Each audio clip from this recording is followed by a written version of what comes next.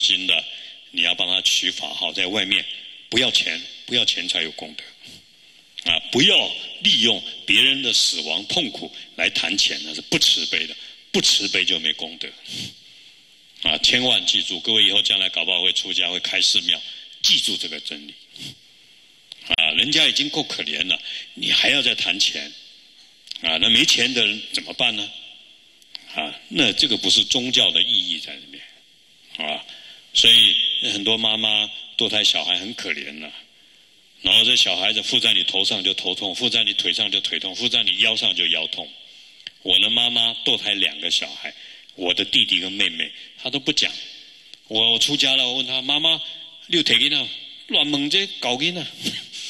我相信我妈妈没堕胎，结果是在我爸爸发生事情，哦，没有这个事情，在我爸爸以后的事情。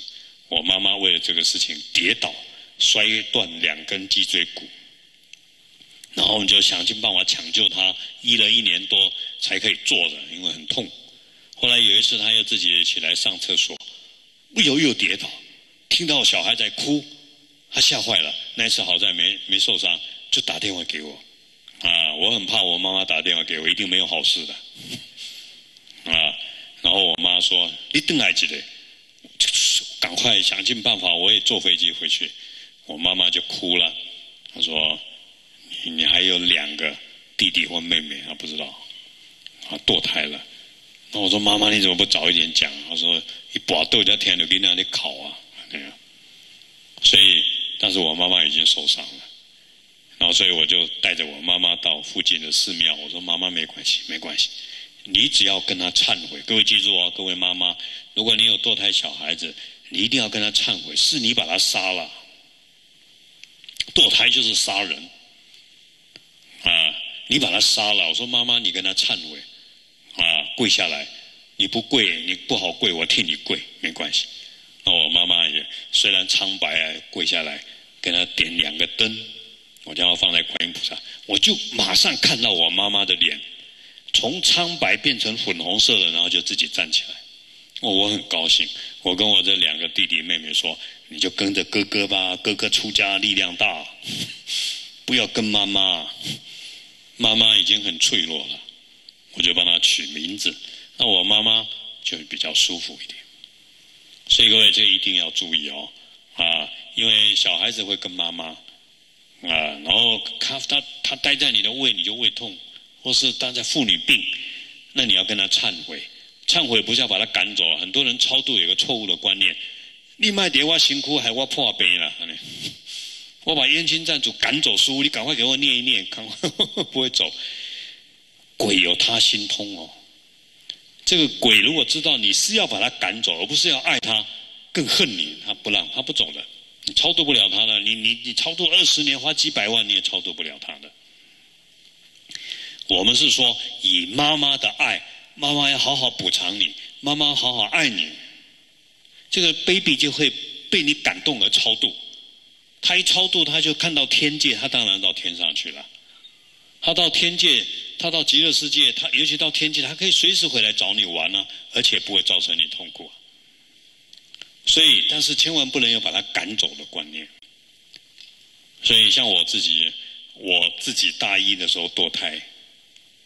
那后来我出家了，我知道这个事情，我忏悔，我跟这个小朋友说啊，我说爸爸错错了，但是我现在出家了，我呢发愿要超度所有被堕胎的小孩，他认识不认识我都要主动，这样好不好？要么你现在爸爸做功德让你去极乐世界，要么你帮助爸爸，我们两个一起来帮助那些堕胎小孩，你做我的护法。结果我老实说。我这个小孩子到今年年初才离开我，他等于四十岁啊，他没有离开我，他没有伤害我，因为他现在做班长，他要做班长，他负责带那些小孩，爸爸爸爸，因为爸爸发心呢，儿子也要发心呢，做功德，所以因为我鼓励他，各位你要真的，你要把那些看不见的小孩当做真的对他好，他会感觉我们一起发菩提心。我们来帮助别人，因为我觉得我这样以后啊，我就更有力量，我就愿意去帮助，帮助更多更多啊！所以就像我杀一只蛇，我杀一只蛇，我因为生气愚痴把它杀了，所以我也跟那只蛇说：我现在要出家了，你跟着我。如果我生气，你就咬死我啊！然后呢，我们一起一起，你做护法，或是你升天，随便你。那如果你要留下来帮助我，让我不要生气，我们去帮助所有被杀的蛇。所以我来马来西亚还有一个任务，因为马来西亚听说有在抓蟒蛇、杀蟒蛇，所以我们每天都一直很努力去超度它，甚至跟那个卖蛇的说：“你锤一掌哦，就不要杀，初一十五多少我们都给你买下来。”啊，因为让那些工人呢，初一十五也不要有杀业，他们做工人是没办法的，他不得不的啊。所以我们到槟城也有一个杀蛇的地方。我们那天花了将近三万块美金买他所有的蛇，他才高兴一点，不然他不高兴。况且出给狼不高兴，哎，然后趁他在包蛇的时候，我们就开始贴咒语，走走走走走走，赶快贴一贴。三个月他就倒店了。附近的老百姓哦，师傅赞，基本上我会给别抬啊，啊，这个也是一个善业，为什么？让他赚别的钱，不要再赚这个钱。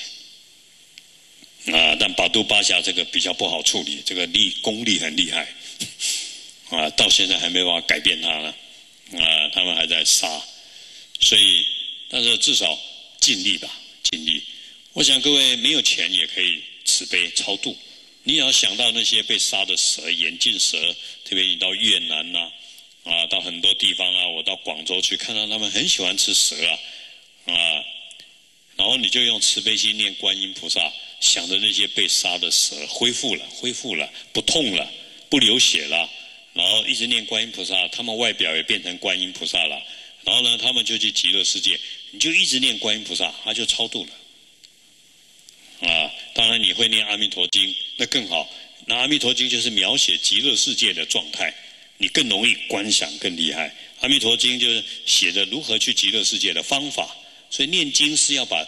经里面的意念传给他，而不是嘴巴念经，而你要传递给他什么不知道？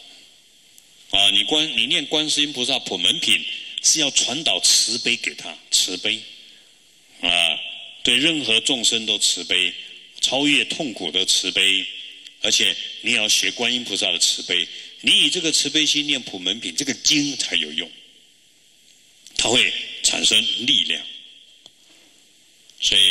我先讲第一个，为什么要超度？特别对祖先的佛经里面的故事。释迦牟尼佛在世有一次在菩提树下打坐，那在精舍里面，那有一个生意人三十岁，跑到佛陀面前来，他不是佛教徒，所以他对佛陀很不客气，也不会问讯，也不会拜，但是佛陀不会改变的。那这个生意人说：“哎呀，你叫佛陀啊，你能不能帮我啊？”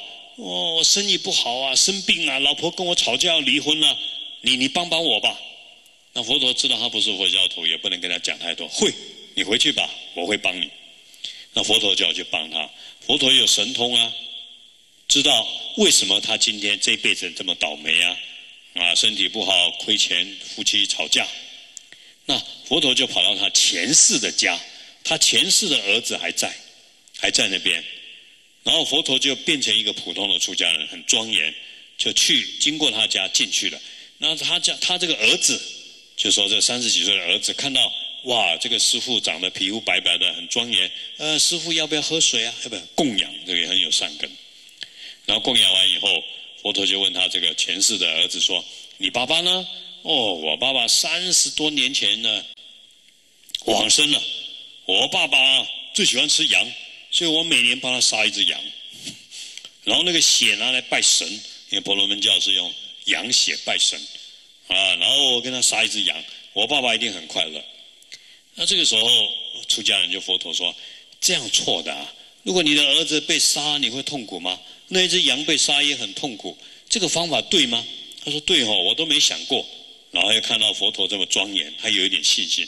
佛陀说：如果你真的要孝顺你的爸爸，我告诉你。哎，你呢？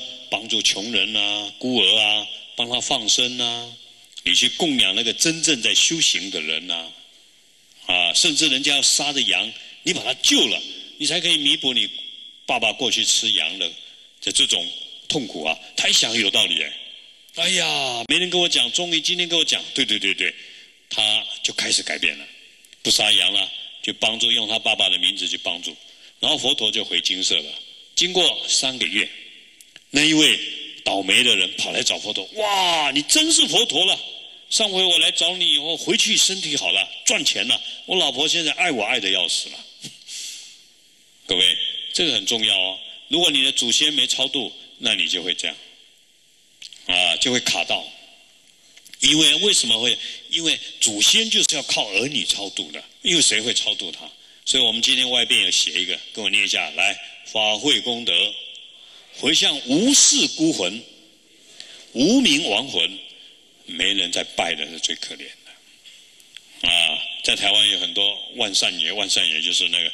那个坟墓啊，改成改成学校啦，改成公园啦，就把人聚在一块，叫做满神公、满神牙，那就意思是说波浪拜呀。但外面一定会贴一个有求必应，为什么？波浪拜耶，没人拜了，你愿意拿个饼干去拜，保证你满愿，这叫有求必应。所以台湾那些黑道的生意人都包，我要做主委，呃，他们这个小钱拜拜拜，他们很会拜的。但是他们觉得生意越来越好，因为那些孤魂最可怜的，所以释迦牟尼佛有说了：你用一千亿美金，在这个世间盖高速公路啊，盖医院，哇，福报很大，将来可以升天。但是不如用一杯水去供养佛陀的功德。为什么三宝的功德不可思议？但是我这样讲不是告诉各位说，那我就不要帮医院了，不是，心态改变，用慈悲心，而不是用世间的福报去供养。那佛陀又说了，供养三宝福田很大，但是你呢，用无量劫的时间供养全世界的佛陀，全世界的出家人，把佛像都盖成纯黄金了，那功德很大，但不如守一条戒律的功德。所以我今天也会传授各位受五戒，受一条两条也好，好不好啊？不杀生嘛，这很简单。但是佛陀又说了，你受戒布施功德很大，但不如慈悲心布施一滴水给给鱼喝，布施一颗米给鸟吃的功德，因为慈悲心的功德大一切。所以我们出家人刚出家学什么？第一天就是学施食，今天我们要做的。布施食物给那些好兄弟啊、山神、土地神啊、孤魂野鬼啊，平等心的供养，用这个食物来供佛啊，那福报很大。然后佛加持这个食物，再把这个食物帮助那些我们写的牌位啊、死掉的动物、死掉的人啊、地狱道的众生，那慈悲的功德大于所有功德。所以也希望各位。家里我看华人家里门口都有红色的房子，够修金钻，对不对？但是我发现很多人不是用慈悲心去做，我给你修金钻，你给我波比探钱哦，啊，我不给你摆，你也切我，惊你，所以我给你摆哦，那样，那这样就功德少一点。如果各位你在烧金子的时候，我烧啊，希望你们都发财不缺钱啊，希望你们都离苦去升天啊，那叫慈悲心，那功德很大。啊，所以你在拜门口，在拜神的时候，希望神照顾所有马来人，希望神照顾所有痛苦的众生。我感恩神，哇，那这个叫慈悲心，那这个功德大。我也希望各位在修平做的时候放两块饼干，因为这个鬼啊，他没东西吃，他是吸味道。那如果你烧两块饼干，它可以吸到那个味道。就像各位，你回去试试看，你买一块很香的豆腐，放在祖先面前，然后一个钟头，你闻那个豆腐就臭掉了，那个豆腐的香味全部吸走了。所以佛教教我们这个方法，各位把食物透过佛菩萨、火神的加持烧成烟，那这个烟一飘出去啊，不分宗教，所有树神、土地神、鬼神都可以吸到那个味道。啊，把水为他们供养佛以后，水给他泼出去。所以我希望各位从今天开始，在家里的佛堂多供多一点水，不要光三杯。供完以后，至少一半的水洒在外面树下。那些孤魂野鬼好快乐，他们叫咽口鬼。什么叫咽口鬼？嘴巴会吐火的，放咽口，放咽口。他们只要晒到太阳，全身就会被烧，而且不会死。然后到了晚上呢，就会出来找食物。当他肚子饿，只要有人在吃饭，筷子的声音，他就会饿，然后就会吐火，叫咽口鬼。所以我们走到哪里都会学观音菩萨拿个瓶子啊，这是马来西亚买的了，用这个瓶子里面放水，如果加一点咒语，那走到哪里都喷啊。开车的时候，老公开车，老婆喷水，啊，每一条路都平安呢。上大悲咒水啊，各位，你撒你撒钞票，很多人在你后面跟着你的，那这个比钞票还贵，钞票对鬼没用。但是钞、水、米是他们的黄金。你撒一些米，所以各位养成习惯，开车车上一定要摆一些米，摆一些米。经过旁边有红木区，不分华人，不分各种这样，打开窗户撒一点点米，你只要念南无观音菩萨，这样就好了。观音菩萨负责把这个米变成无量无边，给他们吃，吃了有些还可以升天。但是你修慈悲心。还有什么好处？永远以后你不会怕鬼，也不会做鬼，也不会怕鬼，因为你对他慈悲。对狗有慈悲的人就不会怕狗，对不对？对狗没慈悲的才会怕狗，狗还故意要咬你，因为对我不慈悲。啊，有些人说：“阿，叔，我点了都了贵，因为你对鬼不慈悲啊。你看到他就要排斥他，那你你起个念头，他就知道你在起念头了，了解吗？”你对他不怕，你还对他嗡啊吽阿弥陀佛，他不但不会接近你，还会接，还会保护你，甚至他超度他。你越怕他，越要缠你。所以在这一点，那各位你要你要改变你的心态，最好的方法就是慈悲心。你就主动对他好，你不会怕，你还可以帮助他。所以希望大家走过路上，像像华人都知道，哎呦那边有车祸，你曾经看过，所以你走过的地方，你心里都会怕怕的。那你如何把这个怕消除呢？光来了，黑暗就不见了。慈悲是最快的方法。窗户打开，洒几杯水。那很多人问我说：“师傅，我洒水，那个鬼会不会跟我？哈，还是在怕？”你放心好了，慈悲无障碍，慈悲就有护法神。佛经说了，一个人如果孝顺。你不懂佛教，你只孝顺爸爸妈妈。你走过的地方刚好地上有水或下雨，你身上的水鬼可以喝，咽口鬼都喝不到。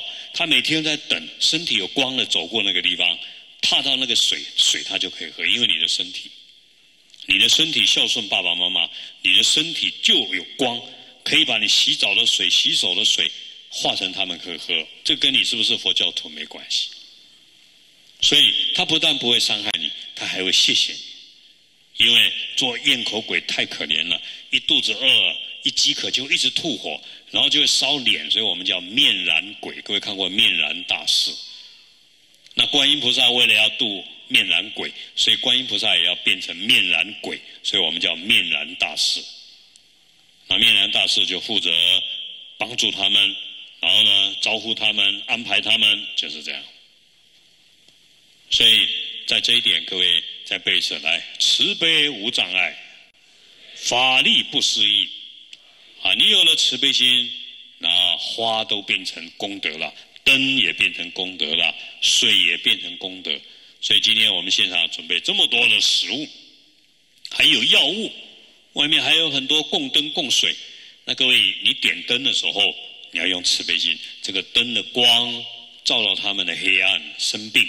所以佛经说，念下，为往生者点四十九盏灯，业障马上消除，快速得生净土。这个要背，只要有人往生，你就点四十九盏。这四十九盏灯供在佛前，没有佛像就一本地藏经啊，一本普门品都可以。心经只要有三宝就好了，一张相片，点四十九盏灯。回向给他，他就可以马上脱离痛苦。啊你有两个堕胎胎儿，那今天你会了，外面那么多灯，然后你就拿四十九盏灯给他点。但是你光回向给自己，太慈太不慈悲了。我为胎儿点这个灯，回向给所有堕胎的胎儿死亡者，哇，那功德变成几亿盏灯，你就只要点一盏就好。为什么？因为你随喜现场有人在点一千盏灯，念一下随喜功德，你内心只要随喜而不要嫉妒，而不是说那是你点的。像各位进来看到会场这么庄严，这个会场那么庄严，用一天太浪费了，是吧？明天你们继续来念经好了。你你只要一进来看到哇这么庄严，念一下随喜功德，哇这极乐世界观音菩萨花这么美，灯这么美，食物这么庄严，那所有的功德等于你的，这个叫随喜，很重要啊。今天你看到人家有钱，不要记得，哎，不好了，哎，不叫来。那你这样讲，你你有什么好处？对你有什么好处？啊，随喜功德，那你以后比他还有钱，等于等于他的福报。所以佛陀要我们不要嫉妒人家，还要随喜。所以你进来看到这么花灯香这么庄严，你要马上随喜功德，那这个功德你就得到了，然后再把这个功德回向给你的祖先呢。回向给你想到的痛苦的，所以各位以后报纸看到人家车祸死掉了，不要幸灾乐祸，啊！你要马上南无观音菩萨，南无观音菩萨，升起悲心跟他结个缘，他的痛苦至少减低一半。你只要看报纸、看电视，你只要想到，你马上念观音菩萨，观音菩萨，哦，那只猪在被杀，观音菩萨，那个牛在被杀，观音菩萨。然后那个牛就会减低痛苦。那因为你用悲心，所以叫慈悲无障碍，超越时间空间。来，现在一人发一包药包在外面。啊，我们等一下要出去外面，然后，哎，等一下，等一下，我把第二个故事讲完再开始做。那鱼，鱼可能要先走啊，啊，今天外面。一千公斤的鱼，还有黄头鸟五百多只，鱼可以先走，法师给他洒了水，啊，放生很重要。经典说，有人下地狱受苦，你只要放七只鱼，然后念出他的名字，他马上脱离地狱。你这辈子天天在杀猪，你只要有惭愧心。放十八只、十八只鱼或鸟或猪，随便你。然后你这辈子杀生的业超度了、消除。但是重点很重要，惭愧心哦，不是说，完了我棒棒呀，我的抬卡贼，啊，那那就不算惭愧心。我本家我只好杀，我好办了探子，我的买台，你要这样想，对不对？然后你有惭愧心。像台湾很好，有杀猪一定有寿魂碑啊，他们杀完就可以拜拜拍水完呢。阿弥陀佛啊，那至少还有惭愧心呢。但是你以惭愧心救七只生命，救十八只生命，那你就可以超度一个往生者，而且可以消除自己的业障。好，那各位再听我讲一个，为我们要超度要怎么做，是按照佛经的。释迦牟尼佛在世的时候，他有一个弟子叫阿难。这个阿难嘛，把释迦牟尼佛讲经四十五年，通通背下来，然后写成经典，五百个阿罗汉做证明，都是佛讲的，所以留到今天有这么多经典。那这个阿难很厉害，他可以背下佛陀四十五年讲的，为什么？那这里面有典故的。那有一次阿难听佛陀说法。我们修行人就这样，像各位，你今天听我讲话，你回去要想一想，想一想，觉得有道理，哦，我要真的去做，那对你就有帮助。不要光听，然后就没有了，啊，要改变。哦，我脾气不好，对，脾气不好会长得丑，会撩急，会口才不好，会人缘不好，会下地狱，这样。所以你要去想，所以我不要再发脾气了。啊，脾气好的人会长得漂亮，会口才好，会有钱，会人缘很好，死后升上帝的天，那你要去想。所以想完以后，所以我应该不要发脾气，我要开始改变。我生脾气来的时候，我赶快念观音菩萨。普门品普门品说，你起嗔恨心、贪心，赶快念观音菩萨，想观音菩萨，心态就改变。那你要去做，就会改变了。所以阿难听完佛陀说法，他就在山洞打坐，想佛陀讲了他怎么去修行，这样啊，这很重要。但是有一天他在打坐的时候。突然，前面跑来一个鬼，那个鬼整个脸被火烧，阿难就啊一声没地方跑，这样因为后面没办法跑，啊，那鬼挡在洞门口，全身在冒火，阿难跑，那个鬼说：“你卖照，你卖照。”我跟你讲啊，我是要来跟你讲，你三天以后就要死了，而且死以后跟我一样变这种鬼。阿难就真的啊，怎么办？然后阿难在想怎么办？那个鬼还讲话：如果你要救你自己，我跟你讲，你能够帮我们这些鬼啊供养三宝，而且供养完三宝以后，又帮我们这些鬼啊布施食物给我们吃，你三天以后绝对不会死，而且你会有特殊的能力、健康、记忆力等等。阿难想说，鬼怎么会讲这个？但是他又怕，他就赶快跑去找佛陀。佛陀啊！因为鬼讲完就不见了。刚刚我碰到鬼了，鬼给我讲这个呢，说我三天会死，真的吗？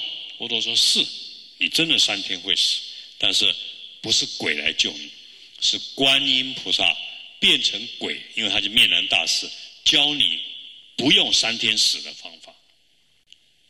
所以释迦牟尼佛说，在我过去没有成佛做外道婆罗门的时候，观音菩萨就教我这个方法了。